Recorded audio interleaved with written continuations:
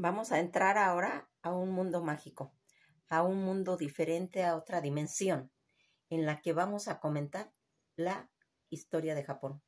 Esta historia de Japón que va a ser rica en mitos, en, las parejas este, primordiales, en sus orígenes, va a tener todo un caminar a través de la historia donde vamos a ir conociendo poco a poco cómo se va a ir desarrollando esta historia de Japón, en la que vamos a irnos este, identificando con todos esos pueblos, esos pueblos japoneses en esas islas eh, que van a tener una mitología eh, muy, muy interesante y que inclusive en la actualidad se va a venir arrastrando situaciones en los que vamos a irnos dando cuenta cómo esos mitos, esas eh, orígenes que va a tener el pueblo japonés, que va a estar en una vibración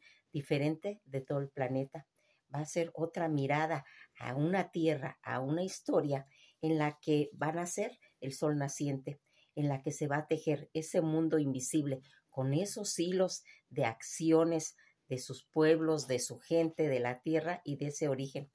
Está en ese eh, hilvanar de un mundo invisible en la que vamos a irnos dando cuenta poco a poco cómo se va a ir plasmando cada personaje en el que vamos a ir mencionando y que va a tener para, para el pueblo japonés de, de gran trascendencia, muy, muy importante, porque aquí se va a ir entendiendo por qué el pueblo japonés tiene todas esas costumbres, por qué logró, por medio de su ubicación de la isla, tener una autonomía sin que fuera absorbido por China, que está muy cerca de ellos y que eh, por lo regular al a otros pueblos que han estado muy cercanos les quita su identidad porque China es grandiosa. Aquí Japón, por la ubicación eh, geográfica en la que se encuentra, va a tener la capacidad de, ah, de ir creando una propia cultura, una propia civilización, en la que como ya vimos que en el mundo este, invisible, en la que va a estar plasmado pues todos los espíritus en su realidad y que va a estar formado por seis deidades. Aquí va a salir una pareja muy, muy importante para ellos, que es la pareja primogenia, que se llama Isaniji y Sanimi, que es la pareja real en la que va a ir haciendo. Eh, en una ocasión estaban los dioses viendo cómo estaba, eh, estaban ellos con una lanza dorada y estaba eh, viendo cómo abajo, ellos estaban arriba, estaban asomando y había un vacío, un vacío en el que no había nada y ellos pensaron que tenía que existir algo en, esa ubicación y lo que hicieron fue verter una gotita en el arco iris, de la cual va a nacer la primera isla de Japón.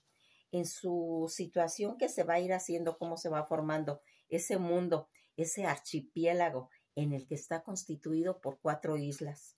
¿sí? Hay más este, islas muy pequeñas. En la, eh, la isla de que se va a formar en ese archipiélago de Japón, donde son pues la tierra más firme, se puede decir. La isla se llama Oklaido, Oshinu, Shikoku y Kyushu. Esas cuatro islas que tienen eh, esa firmeza de tierra en la que más adelante va a estar en la totalidad de la isla de más de 6.852. Va a medir 1.300 kilómetros de largo, ¿sí? Y 50 a 230 kilómetros de ancho, en la que va a haber toda una superficie en la actualidad de 227.922 kilómetros cuadrados al 60% del área total del Japón. Cuando vemos todas estas situaciones que se van formando y que va a tener eh, una, eh, un imaginario, un imaginario de cómo se va a ir haciendo todas estas situaciones. El punto más alto del Japón es el monte Fuji. Es un monte sagrado que tiene 3.776 metros. Su capital de Japón en la actualidad es Tokio. Su isla más pequeña es Okinawa, que es la isla más pequeñita que se está ahí. Japón habla el, el lenguaje pues japonés, casi el 90%, aunque existen varios dialectos. Esta lengua es pues raramente hablada fuera de Japón. Esta se desarrolla adentro. Cósmicamente dicen que está perfectamente este, ubicada, porque si no, no tuvieran las bendiciones, si estuviera más al norte, no tuviera la bendición del arroz, que es el alimento que, va a nutrir a todo su pueblo japonés. Si estuviera más al sur, no contaría con las nieves del monte Fuki, de todos esos árboles y de eh, toda esa vertiente que tiene el este, monte Fuji de este, traerles el agua. También perderían la, eh, su civilización, esa autonomía de ese mundo mágico, porque ya les dije que si estuviera muy cerca al occidente, estaría cerca de China y esto haría que perdieran su autonomía, ese mundo mágico que ellos tienen, porque China absorbe a todo lo que está cerca y terminaría su cultura independiente que ellos han logrado. Si estuviera más al oriente, eh, no tendrían ese influjo civilizador que tiene China, que en realidad pues ha hecho una cosa fundamental tanto en, toda su cultura colosal en la que se ha ido este, desarrollando.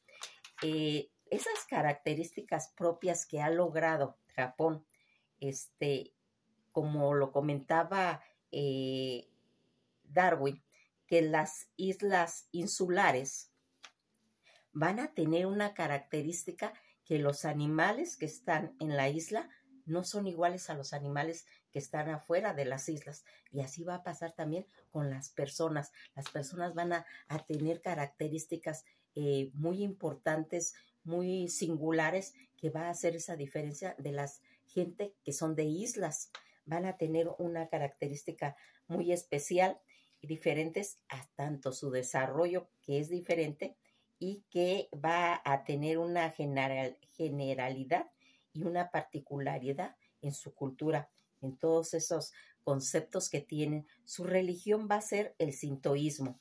Fíjense en que cuando hablamos del sintoísmo aquí me gustaría a mí este, ampliarle un poquito más, porque sintoísmo va a, ser la religión que va a este que proviene de aquella pareja este primordial que ahorita vamos a, ir comentándola es una religión animista muy antigua y de origen japonés sin no tiene escritura ni dogmas ni dogmas pero tiene una rica tradición mitológica y con una práctica religiosa muy arraigada, su religión autónoma que está relacionada, relacionada íntimamente con toda ese este, hacedor, eh, ese carácter nacional que tiene el Japón. Cuando vamos a ir viendo de todas estas situaciones en las que vamos hablando la importancia que tiene las religiones a través de, de sus costumbres, de su mitología, toda esa primordialidad donde se vieron, pues, cuando se encontraron esos dos seres eh, primordiales, ellos se encontraron muy bellos, ellos se enamoraron automáticamente y este, se dieron cuenta de su diferencia física que tenía, en la que sus órganos sexuales eran diferentes y aquí van a tener una compenetración sexual eh, alrededor de una columna. Dicen que la primera vez que, tuvieron una relación sexual eh, a través de esta, haga de cuenta que los dividía nada más una columna donde ellos se decían cosas muy hermosas, muy bonitas, porque ellos estaban enamorados de, de la imagen que pues el otro ser le proyectaba. Dicen que la mujer tuvo la iniciativa. la iniciativa de querer tener una relación sexual y el resultado que fue es que tuvieron hijos deformes, ¿sí? Tuvieron unos hijos como, como que fueran unas, este, eh, pues sanguijuelas ahí eh, deformes. Eh, y ellos, pues intrigados con, con toda esa, según cuenta la mitología, fueron a ver a sus dioses y les preguntaron que por qué había pasado eso. Y los dioses le dijeron que porque la mujer había tomado la iniciativa. Esto va a ser tan importante para el papel de la mujer japonesa hasta la actualidad, ¿sí? Entonces le dijeron que el que tenía que tener la iniciativa sería el hombre. Posteriormente llegaron a la columna, tuvieron su relación sexual y nacieron hijos muy hermosos, muy bellos, en los que se hizo toda pues esta eh, pues civilización en la que va a ir haciendo que tengan esos hijos perfectos. Y como ya les dije, ese papel de las raíces en cuestión que tiene la mujer va a este a estar inclusive hasta ahora eh, es muy cuidado todo ese punto de, situaciones arraigados en todos esos mitos, en todas esas situaciones. Dicen que un día ella va a enfermar, se llama Isanimi. Isanimi va a enfermar y va a morir. Al morir, él se llena de tristeza y él eh, le ruega a los dioses cómo puede volver a recuperarla y le dicen que entrando en el inframundo. El inframundo en el, este, en el mundo japonés se llama yomi. Este yomi, que es esa, este, ese inframundo, él va a, ir a, buscar a su amada, pero los dioses le dicen que no debe de voltear atrás, no, porque si no pasan efectos este, muy negativos. Cuando él entra, ve a su amada y voltea, y al voltearla a ver, lo único que va a encontrar es una, un esqueleto de una mujer putrefacta que le van colgando los pellejos, que se va pudriendo con un olor tan penetrante que queda este, impregnado en todo su ser y él sale despavorido y al salir corriendo lo único que quiere hacer es bañarse, bañarse porque este, entró a ese inframundo. Este mito que es recurrente y que va a estar en muchas culturas como la japonesa, como en el mundo de Dante, cuando Dante va a buscar a Beatriz al inframundo, ¿sí? Eh, en el que vamos a ir viendo que en Grecia pasa con Eurides, eh, cuando va a buscar a Eurides Orfeo, y que también va a pasar en la Biblia cuando Lot van saliendo de, eh, de las tierras y voltea y su mujer se convierte en sal. Todos estos mitos recurrentes que están a través de todas las civilizaciones también va a ocurrir en Japón y que va a, a, tener eso. ¿Por qué le pasó eso a la mujer? Porque la mujer había comido de los frutos del árbol del yomi ¿Qué es el yomi? Son palabras japonesas que están designadas al inframundo. Es en, el, en la religión del sintoísmo, cuando se penetra al, al inframundo, hace que permita el que come de esos frutos regresar a su cuerpo, a renacer, a reencarnar en su cuerpo y, y pueda hacer eso. Pero el hecho de que las personas que van a sacarlas, ¿sí? Volteen, automáticamente se pudre ese, fruto, porque ese fruto también se llama, la, el yomi se llama eh, la fruta del diablo, porque tiene esa cualidad de como de engañar, de engañar de que se va a renacer y si se desobedece, se desencarna.